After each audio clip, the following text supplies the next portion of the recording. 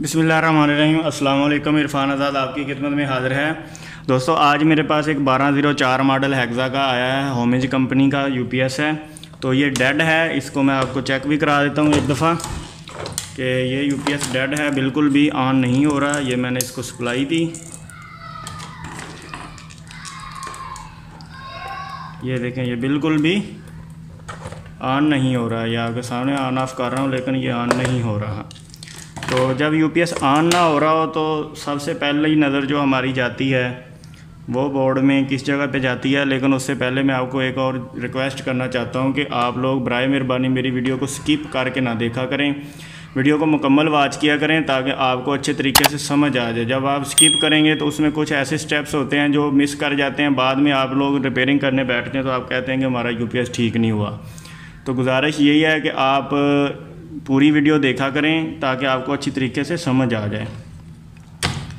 तो पैनल को मैं बाहर निकाल लूँगा जी, ताकि मुझे बोर्ड को निकालने में आसानी हो। जब यूपीएस डेड होकर आता है तो उसमें सबसे पहली नज़र हमारी जाती है इन फ्यूज़ के ऊपर। ये पॉजिटिव वायर के साथ यहाँ पर फ्यूज़ लगे हुए हैं, चार चालीस अम्पेयर का एक ये फ्यूज़ होता है। इनके ऊपर फोर्टी लिखा भी हुआ है, चालीस लिखा होता है इनके ऊपर। तो सबसे पहली नज़र हमारी जाती है इनके ऊपर। तो हम इनको पहले चेक करेंगे।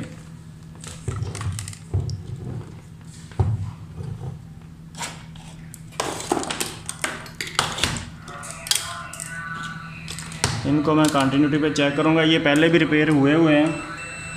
तो हम इनको दोबारा से फिर चेक करेंगे। ये देखें, ये पहले रिपेयर हुए थे, लेकिन अब ये डिसकनेक्ट हो चुके हैं।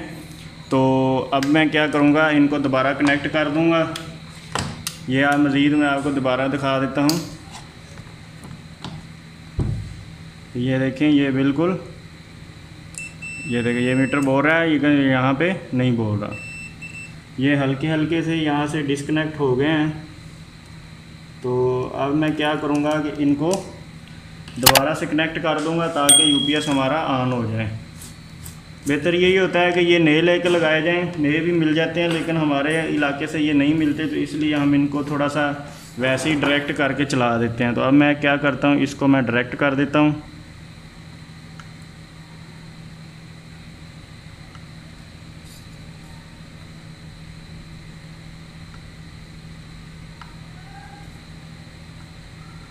ये पहले भी किसी ने डायरेक्ट करके चलाए थे, लेकिन उन्होंने थोड़े ज़्यादा ब्रीक लगा दिए थे, जिसकी वजह से ये दोबारा ख़राब हो गए तो अब मैं क्या करूँगा, मेरे पास ये थोड़ी मोटी वायर है, इसके साथ इतनी ज़्यादा मोटी भी नहीं लेनी तो ऐसा ना हो कि आगे से बोर्ड ख़राब हो जाए, लेकिन आपकी ये फ्यूज़ ना जलें। फ्यूज़ का मकसद ही यही होता है कि जब ये हमेशा जब आप रॉन्ग कनेक्शन लगाएँगे, तब ये फ्यूज़ डिसकनेक्ट हो जाते हैं। तो कुछ इस तरह से लगाने होते हैं कि ये लोड भी बर्दाश्त कर जाएँ और ज़्यादा जल्दी ये ब्लास्ट भी ना हो।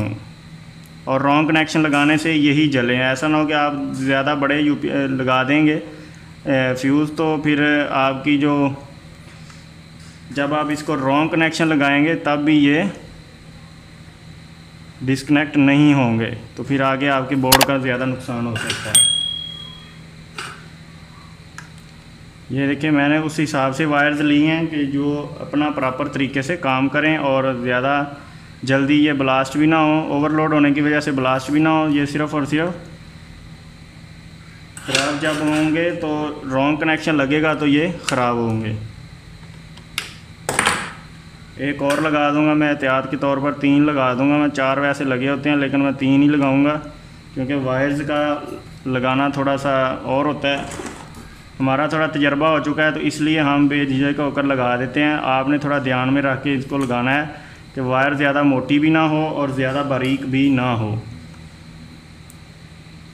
इसकी मैं सिंपल ट्रिक आपको बताता हूँ कि ये वायर आपने कहाँ से लेनी है। ये देखें जी, हमने फ्यूज़ लगा दिए। तो अब हम क्या करेंगे, इसको ऑन करके देखते हैं।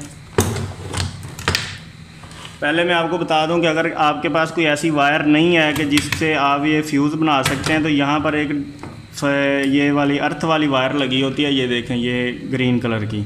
आप इसको इस्तेमाल कर सकते हैं, ये यहाँ से निकाल के इसको आप लगा सकते हैं। अब मैं क्या करता हूँ जी, इसको करंट देकर देखते हैं जी, आया कि हमारा यूपीएस ऑन होता है या नहीं।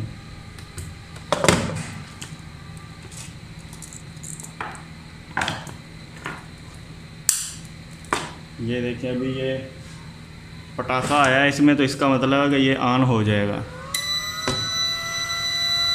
ये देखें जी यूपीएस ऑन हो गया जी। बिल्कुल छोटा था फॉल्ट था, इतना ज़्यादा बड़ा फॉल्ट नहीं था इसमें।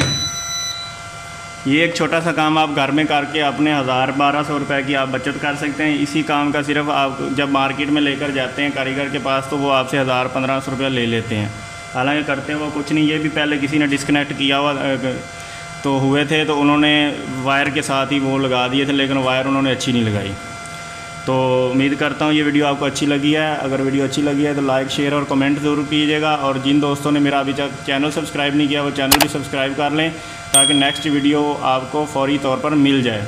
इसी के साथ ही अगली वीडियो तक इजाज़त दीजिए। अपना बहुत सारा ख्याल रखिएगा। अल्लाह हाफिज़।